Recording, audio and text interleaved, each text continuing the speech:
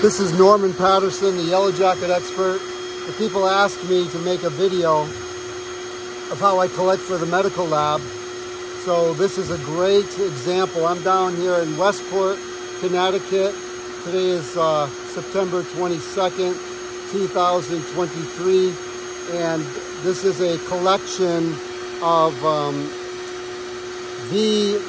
germanica from this house they make voids in houses and um, this is the way that I go about collecting them. So there's my trap and I'll show you a little bit closer of a video of that and they're coming from right up in here. Right up there. And that's how I collect them the sponge that's inside of that trap is to keep them alive. so is the hose is also smooth. They get sucked into a smooth hose and then they go onto that sponge so that they live and uh, they don't get sucked into the vacuum. I have to collect them alive for the medical lab because a dead yellow jacket without being frozen is a waste. It's just garbage. So they have to be collected and then frozen alive in order for them to be used for the medical lab.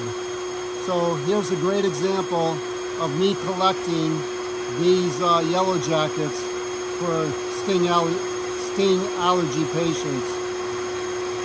And I'll show some slow-mos and a close-up of the jug.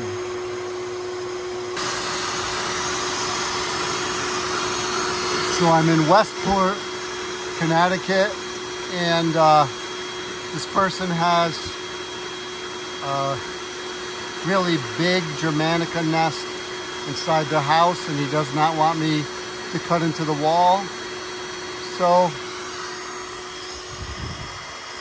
I had to make a entrance, a singular entrance for the Germanica to come in and out of, rather than multiple entrances, so that the collection would be that much more efficient.